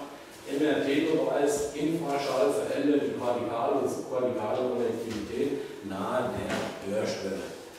Da ist das MRT-Bild drin. Auch da die Reaktionen vom Gehirn sind klar. Also wir haben ja rechte und linke Hirnhälfte. Links sitzt die Logik, fängt mit N an, links Logik. Und rechts haben wir die Emotionen drin sitzen. Und da haben wir noch diese Überlebenssysteme drin. Und im MRT konnten wir klar feststellen, wenn Probanden mit also 5, 6 Hertz beschallt wurden, ist im MRT auf einmal die rechte Hirnhälfte, wo die Emotionen drin sitzen, die fing an hat geglüht während die linke Hirnhälfte wirklich runtergefahren ist. Ist im MRT nachgewiesen. Das sind diese Alarmsysteme. Deswegen ist das der nächste Punkt. Die Leute klagen über Schlaflosigkeit. die werden nachts wach, weil ihr inneres Alarmsystem Alarm geschlagen hat. Sie kriegen das aber einfach nicht mehr mit, aber Fakt ist, dass diese Schallwellen hergehen und das innere Alarmsystem aktivieren. Man wird wach und weiß aber gar nicht warum. So. Dann gibt es also der unhörbare Lärm von Windkraftanlagen von dem Lars Serrana, Gernot Hartmann, Bundesanstalt für Geowissenschaften und Rohstoffe. Die haben dazu ein Referat herausgegeben, will ich Sie nicht hier mit lang. Also die Symptome von der Erkrankung bei Windkraft sind bekannt. Schlaflosigkeit, Angst, Unruhe, Schwindel, Kopfschmerzen, Tinus, Herz-Kreislauf-Probleme, Konzentrationsschwächen und Depressionen. Auch diese Nina Pierfort hat das 2009 in einer wissenschaftlichen Studie veröffentlicht. So. Nebenbei Umweltschutz. Unsere anderen Lebewesen auf diesem Planeten, die kommen mit den Windkraftanlagen auch nicht klar. Die haben also auch kein Wahrnehmungssystem für rotierende Oderblätter und deswegen Rotmilan, Schwarzstorch, Fledermäuse werden tonnenweise geschrottet. Und dann findet man die hier, abgehackte Flügel, abgehackte Beine und durch den Infraschall verursacht, im Schwarzwald aufgenommen, Kälbchen, die als Missgeburt kommen, oder Schafe, die als Missgeburt kommen, da fehlen Teile vom Rückgrat und sowas. Und das alles ist auch bekannt, denn das Bundesumweltministerium hat einen Studienauftrag gegeben, Machbarkeitsstudie zur Wirkung von Infraschall. Da steht schwarz auf weiß drin. Hier, wenn Sie das sehen oben, da steht schwarz auf weiß drin. Windkraftanlagen gehören zu den Haupterzeugern von Infraschall. Da stehen diese ganzen Symptome drin, die ich Ihnen aufgezählt habe, stehen in dieser Studie drin. Und da steht auch dran, in einem im Labor oder am Langzeitversuch Infraschall ausgesetzten Probanden wurden folgende krankhafte Veränderungen festgestellt das, was ich Ihnen gesagt habe, Herzmuskelkontraktion und sowas, äh, Absenkung der Herzfrequenz, was jetzt der Professor Dr. Wahl an der Uni Mainz auch nachgewiesen hat. Äh, da Studie von Professor Dr. Wahl, Universitätsklinik Mainz im März 2018 veröffentlicht, Frequenzen von 6 bis 10 Hertz minimieren auch bei geringer Leistung die Herzmuskelleistung um 20 Prozent. Schwindelanfälle, das steht übrigens alles in diesem Bericht vom Umweltbundesamt drin. Hier. Und zum Abschluss steht da drin in diesem Bericht, besonders beunruhigend ist, dass viele dieser gravierenden gesundheitlichen Auswirkungen sich bei den Probanden auch längere Zeit nach Ende der Exposition noch nicht normalisiert haben. Das heißt, im Umweltbundesamt ist das alles bestens bekannt wurde nämlich in dieser Studie schon genauso bestätigt. Das ist vom Umweltbundesamt, die Studie kann ich Ihnen gerne auch per Mail zuschicken, da steht das alles schwarz auf weiß drin. Die wissen das. Die wissen das und trotzdem machen sie es. Das ist Vorsatz. Im Grundgesetz, Artikel 2 Absatz 2, steht drin das Recht auf körperliche Unversehrtheit. Das heißt, der Staat hat eine Fürsorgepflicht. Der Staat tritt derzeit das Gesetz, das Grundgesetz mit Füßen. Aber nicht nur nicht mehr. Völlig recht. Jetzt geht es um diese Lärmgrenzwerte, noch ganz kurz, interessiert ja nicht so, also 35 bis 45 dBA. Die Weltgesundheitsorganisation WHO schreibt einen nächtlichen Grenzwert vor von 30 dBA. Weltgesundheitsorganisation schreibt, das Ding habe ich auch zu Hause liegen, einen nächtlichen Grenzwert von 30 dBA vor. Das ist die Frau Hendricks. Ne? Studium Sozialwissenschaften, also auch mit Physik und Mathematik wahrscheinlich im Kriegslos gestanden. Er hat am 1.6.2017 noch die Lärmgrenzwerte geändert. Jetzt sind in urbanen Gebieten tags 63 und nachts 45 dBA zulässig. Verstößt gegen die Vorgaben von der Weltgesundheitsorganisation, aber es interessiert mich. Dann hat sich das Bundesnaturschutzgesetz geändert. Das heißt, in Windkraftanlagen darf man auch streng geschützte Arten umbringen und killen. Das heißt, es gibt Ausnahmen. Es gibt streng geschützte Arten wie Schwarzstorch, Rotmilan, Wespenbussard und so weiter. Und da ist die Frau Hendricks hergegangen und hat erst gesagt, also äh, die Windkraftanlagen dürfen nur dann nicht gebaut werden, wenn ein signifikant erhöhtes Tötungsrisiko steht Dann haben sich das Helgoländer Papier, die Vogelkundler zusammengetan haben und gesagt, wir brauchen Mindestabstand von 1,5 Kilometern. Dann hat das Bundesnaturschutzgesetz nochmal geändert, da stand drin, Ausnahmen zum absoluten Tötungsverbot können in begründeten Fällen zugelassen werden. Das heißt jetzt bei der Siegfried-Eiche bei uns sind fünf Ausnahmen zum absoluten Tötungsverbot drin.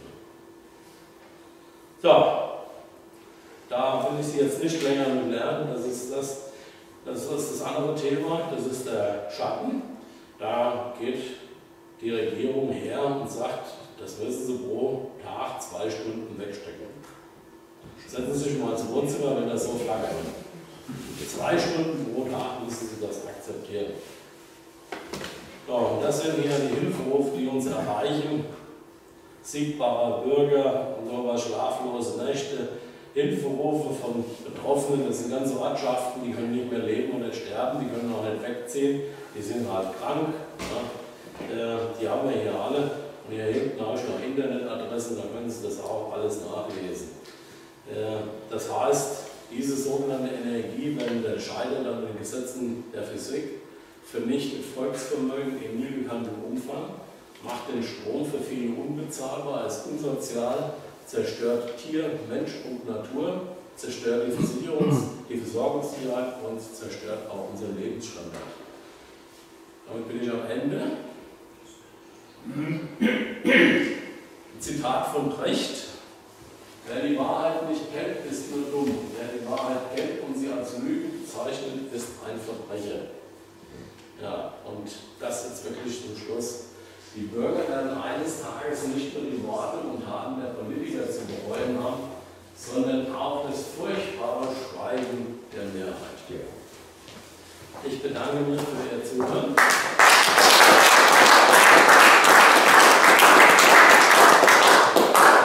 Selbstverständlich stehe ich noch für Fragen zur Verfügung, war das ja vereinbart.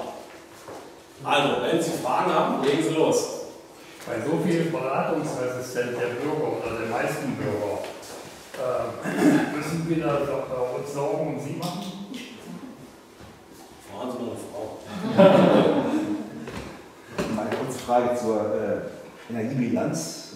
Mein Bruder ist auch E-Techniker, hat mir das mal erklärt. Die Dinger haben eine Energiebilanz. Das heißt, die produzieren Strom ihr Leben lang, verbrauchen aber auch Strom, Kilowattstunden.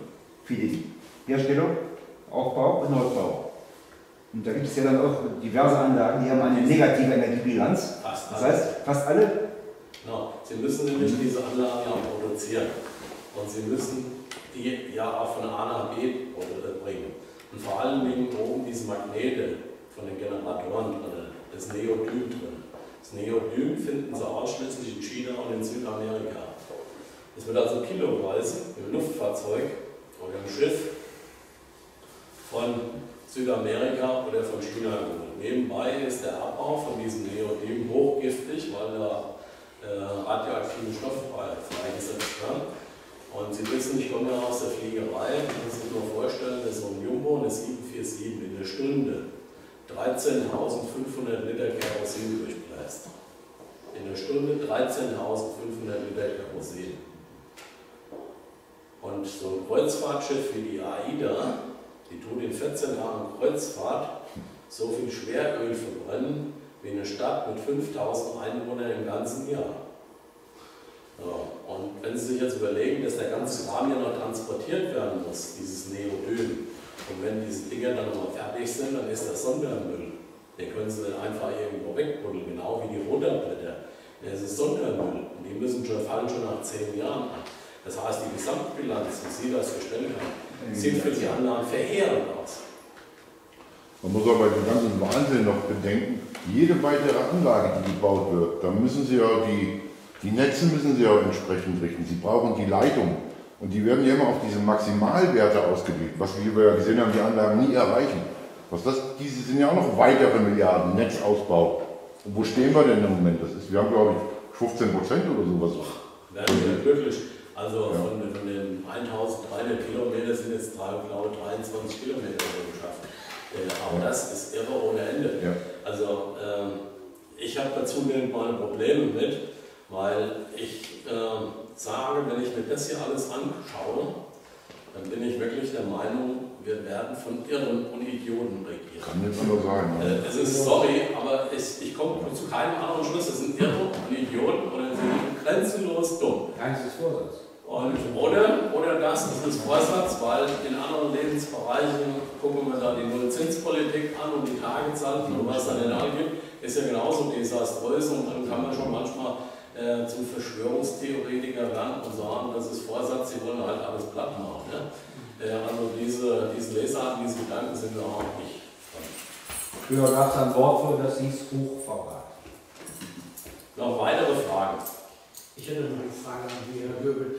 Wenn man so die Zeitung liest, so ist ja manchmal entsteht der Eindruck, naja, das mit den Windkraftanlagen und auch den Photovoltaikanlagen, äh, die Problematik, die Sie in diesen Kurven äh, dargestellt haben, wäre bekannt. Man bräuchte ja nur noch ein paar Speicher dazu zu stellen, dann könnte man diesen Zappelstrom ja auch speichern und dann in etwas windärmeren oder lichtärmeren Zeiten dann nutzen.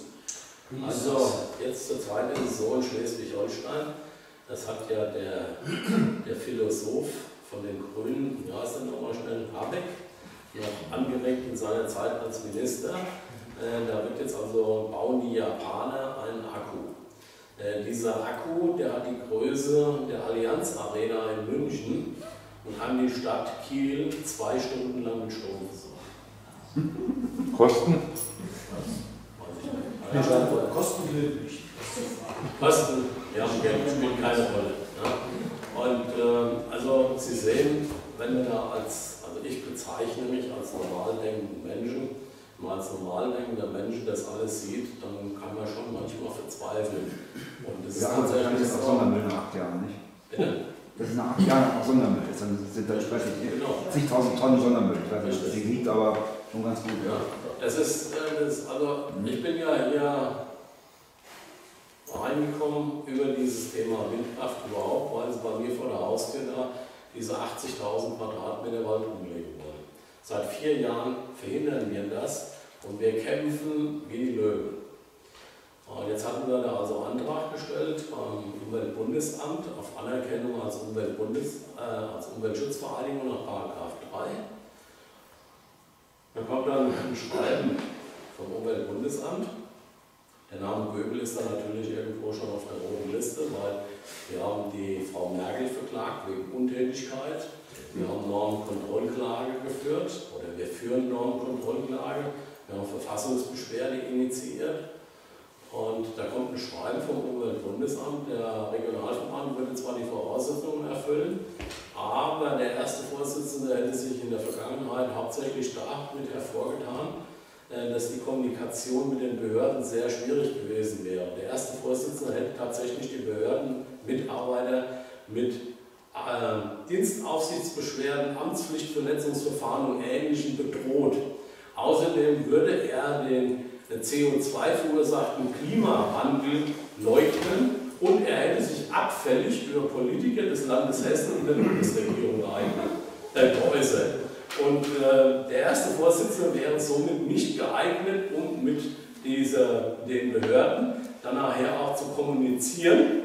Und äh, schlussendlich so durch die Blumen, solange ihr den ersten Vorsitzenden habt, kriegt ihr die Anerkennung nicht. Ich kann Ihnen das geben. Das ist doch rechtswidrig, das geht aber nicht. Das, das kann sein, ich kann es Ihnen schwarz auf weiß zeigen.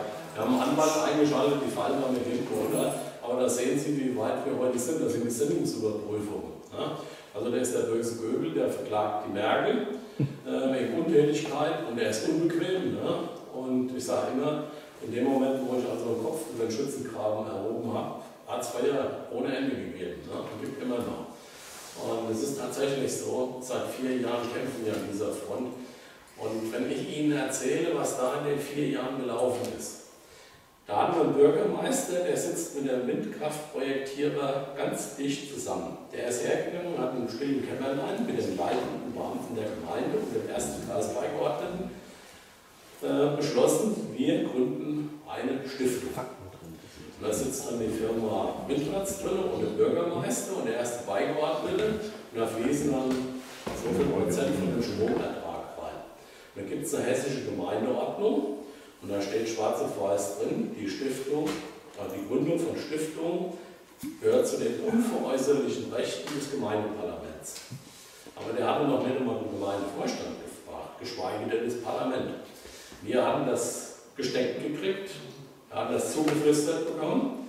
Daraufhin haben wir geklagt in Wiesbaden. Dann musste er diesen Vertrag rausrücken. Dann bin ich hergegangen und habe Strafanzeigen gestellt gegen die drei. Und dann haben wir Mitteilungen bekommen von der Staatsanwaltschaft, dass das Verfahren auf Weisung vom Innenminister eingestellt wird.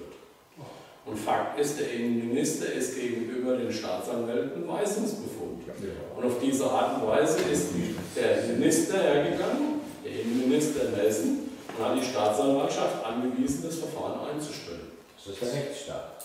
Das ist Das ist unabhängige Justiz. Genau. Und wenn Sie dann lesen, das Buch von Jens Grieser, Deutschland in Gefahr, ich wusste das vorher auch nicht, es gibt in Deutschland nicht eine Richterstelle, aber nicht eine, die nicht durch Parteien Probats besetzt wurde. Und es gibt keinen Richter, der befördert wird, ohne dass die Parteien das in Probats untereinander ausmachen. Äh, Der Jens Grieser als Vorsitzender des Deutschen Richterbundes bemängelt das und sagt, es ist unmöglich, wie die Politik hier spielt. Das heißt, wenn ein Richter befördert werden will, dann muss er sich mit dem gut stellen. Ein anderes Beispiel, BI Butzbach. Die haben geklagt, sollte auch ein Windpark errichtet werden, haben eine Bürgerbefragung durchgemacht. Das höchste einer Demokratie sollte man meinen. Und diese Bürgerbefragung haben 60 Prozent der Bürger gesagt, wir wollen da oben keinen Windpark, wir wollen unsere Bäume behalten. Und der Bürgermeister hat dann trotzdem den Vertrag unterzeichnet.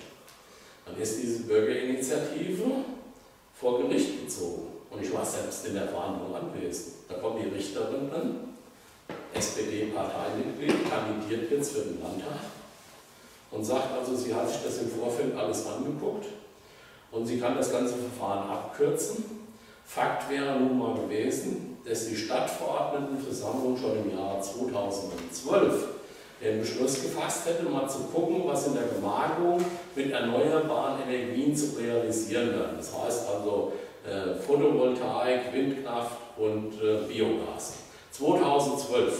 2016 hätten die Stadtverordneten dann den Beschluss gefasst, da Windkraft hinzustellen und erst 2016 hätte sich die Bürgerinitiative gegründet und erst Ende 2016 hätten die dann diese Bürgerbefragung durchgesetzt. Das wäre vier Jahre zu spät, das hätten die 2012 machen müssen. Das war rechtens, dass der Bürgermeister das unterschrieben hat, der Windpark kann gebaut werden. So viel zur Demokratie. Ja? Wenn Sie das tagtäglich miterleben, wenn Sie das tagtäglich miterleben, äh, ja, da haben Sie entweder ganz depressiv oder Sie werden zum Benutzer. Äh, ja, ich weiß nicht, aber so meine Frau sagt, das ist immer radikaler. Aber das Fakt ist ganz einfach, wenn Sie das jeden Tag so volle Kanne mitkriegen, abgesehen von den persönlichen Repressalien, da bleibt Ihnen überhaupt nichts anderes übrig. Entweder Sie geben auf, und es gibt viele Mitstreiter, die vor vier Jahren mit mir gestritten haben, die gesagt haben, Armin, ich kann das gesundheitsmäßig nicht mehr, ich gehe daran zugrunde, ich mache hier einen Cut, ich steige hier komplett aus, es geht nicht mehr. Und fragen Sie mal, wie oft ich an dem Punkt war, wo ich gesagt habe, ich kann nicht mehr. Aber unsere Kanzlerin ist eine Physikerin. Wenn die kein, äh, kein Kausalverständnis hat, also Ursache-Wirkungsverständnis, wer soll es dann haben? Die Bürger? Die Erfahrung, die ich mache, ist, ein Großteil der Bürger interessiert sich überhaupt nicht dafür. Sie treffen ganz selten hier, ich bin erstaunt heute Abend hier über die jungen Leute, ich finde das ja ganz toll, ich finde das wirklich super. In der Regel, wenn ich meine Vorträge halte oder sowas, ja, da sitzt so unsere Altersklasse drin, aber die Jungen, die es hauptsächlich primär noch Angehen betrifft, äh, die interessiert es irgendwie überhaupt nicht. Und äh, dabei geht, greift das so ins Leben ein, äh, man erträgt es kaum. Sie hat noch eine Frage. Welche Energie ist erneuerbar? Fragezeichen. Geht, geht nicht. Es gibt keine erneuerbare Energie. Die Ja, das Energie immer nur umwandeln. Ja. Wissen Sie, ich war ja jetzt darauf vorbereitet, heute Abend hier dann die Standardfrage zu kriegen. Haben Sie eine Alternative? Dann sage ich immer erst, Ihre Frage suggeriert ja, dass Windkraft an sich eine Alternative wäre. Wie Sie jetzt gesehen haben, ist aber Windkraft keine Alternative. Wozu soll ich Ihnen also dann eine Alternative nennen? Ich kann Ihnen Alternativen nennen. Eine Alternative heißt, Wir müssen das, was wir wirklich nicht brauchen, ja, also diesen Wahnsinnsflugverkehr mit dem Warenaustausch, Globalisierung, wo wir Energie verbrennen ohne Ende, diese Sachen mit Kreuzfahrtschiffen und so, das sollten wir mal anfangen. Ich muss also nicht in die Metro gehen und da fangfrischen Fisch von der anderen Seite des Planeten haben. Das geht nicht, brauchen wir nicht. Da sollten wir mal anfangen. Da sollten wir anfangen zu sparen. Ja, und zwar vernünftig zu sparen und sagen, was brauchen wir wirklich. Also durch die Markt, nicht durch irgendwie vorgeschrieben. Wieso noch gar nicht gesehen? Nee, natürlich nicht. Aber das ist, wenn ich jetzt hergehe und sage, diese, äh, wenn ich mir die Globalisierung angucke, Globalisierung heißt weltweiter Handel. Weltweiter Handel heißt weltweite Transporte und dafür brauchen sie wieder Energie. Ja. Da muss man irgendwo abwägen. Was ist sinnvoll und was ist nicht sinnvoll. Äh, Ich bin ja nicht ganz auf Linie mit AfD.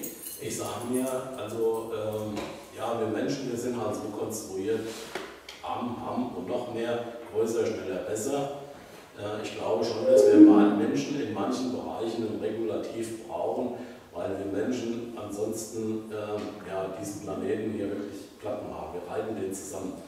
Und äh, da ist es halt wirklich so, ich weiß, dass das nicht die Linie von der AfD ist, aber ich sage mir, diese ganze Globalisierung, äh, man muss das von zwei Seiten sehen. Ganz klar, wenn ich weltweiten Handel habe, dann heißt das weltweiten Warenaustausch und dann heißt das, da wird Energie verbraten ohne Ende. Also das muss ja alles in Wert gebracht werden. Und dann muss ich mir fragen, können wir uns das eigentlich leisten? Ja? Und äh, weil es ist ja immer die Frage nach der Energie. Und dann, wenn ich dann hergehe, das ist ja wie mit den Finanzen. Ne? Wenn am Ende vom Geld zu viel Monat übrig ist, dann gehe ich ja normalerweise her als Normalsterblicher und sage, okay, äh, also ich habe zwei Möglichkeiten. Entweder ich kann eine Bank überfallen oder ich kann mal gucken, dass ich mit dem, was ich habe, auskomme. Äh, ich muss also meine Ausgaben irgendwie in den Griff kriegen. Und genauso ist das mit der Energiebilanz. Ich muss ganz einfach abwägen und muss hergehen und sagen, links, ich gehe ja nicht wieder alles hier her und sage, die Produktion muss dann laufen, wenn wir Strom haben. Ne? Also das nicht, aber mit Globalisierung sollte man da schon mal sehen. Und auch dieses Thema Digitalisierung, das hat zwei Seiten. Die Verwaltung von den Bitcoins im Netz, diese Server, die verbrauchen pro Tag so viel Energie wie eine Kleinstadt mit 5000 Menschen im ganzen Jahr pro Tag. Spannende Diskussion. Braucht man das? Das ist eine Frage, die müssen wir uns stellen. Diesen Fragen müssen wir uns stellen. Es hat immer alles zwei Seiten. Es hat immer alles zwei Seiten. Und dieser Planet ist rund und den gibt es nur einmal. Und da sollten wir uns sorgfältig mit umgehen. Das heißt, diese Ware ist nach Gebrauch unbeschädigt zurückzugeben. Na gut, mit der Währung aber nicht. Und da Da steht gibt jetzt es noch nichts eine da. Frage, die ich jetzt noch zulassen wollen. Und da Ja, hinten und Also, ich würde mal sagen, also ich störe mich so ein bisschen an dem Vokabular ähm, bei der Bezeichnung äh, unserer Politiker. Also, äh, wenn sie mit den Entscheidungen nicht übereinstimmen, ist das eine Sache. Jetzt aber ähm, Politiker als äh, dumm zu bezeichnen, finde ich jetzt irgendwie ein bisschen unsachlich, wenn ich ehrlich bin. Ja, ist es bewiesen, dass es so ist? Und dann hat er doch mal bewiesen. ähm, da kann jeder seine eigene Meinung vertreten, aber ähm, Ich finde mal, da kann, man einfach, Also- also, da kann man auf einer sachlichen Ebene bleiben. Und, ähm, bitte? Also, ähm, Das ist, der, das ist der erste allgemeine Punkt. Ideologisch verblendet. Ideologisch, ideologisch Also, also, verblendet. das war jetzt mal so zum Vokabular, ähm, der erste Punkt. Und der zweite ist, ähm, Sie sagen, Windenergie ist jetzt keine Alternative. Ähm, wenn Sie jetzt aber Naturwissenschaftler sind, hätte ich jetzt aber schon erwartet, dass Sie ähm, ja vielleicht äh, noch ein, eine für Sie Alternative ähm, präsentieren. Da kam jetzt bei Ihnen ja eigentlich auch nichts äh, vor, bei dem Sie sagen, ähm, Doch, kommt was vor. sorry, wenn ich das jetzt unterbreche. Äh, Sie haben gesagt, Sie wollen eine Alternative zur Windenergie. nee, ich Sie wollte, Fragen? wollte Fragen Sie nennen Sie nennen Sie, sind Sie der Meinung, nach dem, was Sie hier gesehen haben, das war pure Physik, sind Sie der Meinung, dass die Windkraft eine Alternative ist? Das habe ich ja jetzt gar nicht äh, zur Diskussion gestellt, sondern ich wollte von Ihnen wissen, ob Sie, ähm, wenn man jetzt die Windenergie abschaffen würde, wie sie jetzt weiterverfahren würden. Denn das ist, haben sie ja nicht. Göbel- Hatte Herr Göbel gezeigt. Er hatte eine Folie dabei, äh, wenn Sie sich erinnern, unten so einen blauen Strich, dann kam so ein grüner Strich, dann kam Ja, ein roter Strich und diese ganzen Geschichten und oben drauf die, die Windenergie und die Photovoltaik mit ihren... Ist mir, ich verstehe Ihre noch, Frage. ist mir noch vor Augen. Ich verstehe Ihre Frage. Das war jetzt hier gerade der letzte Abschnitt, den ich gesagt habe. Ich habe gesagt, wir müssen anfangen und mit dieser Energie an- anders haushalten. Äh, zu der Energie zählt auch der Treibstoff, den ich mit dem Flugzeug rauspulver, wenn ich in die USA fliege. Da zählt auch zu dieser Energie äh, das Schweröl, was ich verbrenne während der Kreuzfahrt, all diese Sachen. Da sind wir auf der Produktion, auf der Und müssen Verbrauchsebene. und da müssen wir, und ich habe Ihnen gesagt, das ist für mich ein Bereich. Wir haben also weltweit pro Tag, weltweit pro Tag 2,6 Millionen Flüge. Da sind wir Überlegen. Sie sich mal, was da an Energie rausgepulvert wird. Und dann tun Sie doch mal ganz einfach hinterfragen, ist das wirklich notwendig? Da sind wir jetzt aber auf der, auf der Energieverbrauchsebene. Meine Frage zieht jetzt aber auf die Energieproduktionsebene ab. Und da haben Sie gesagt, haben- das, das, Schau, das Schaubild haben wir vor Augen.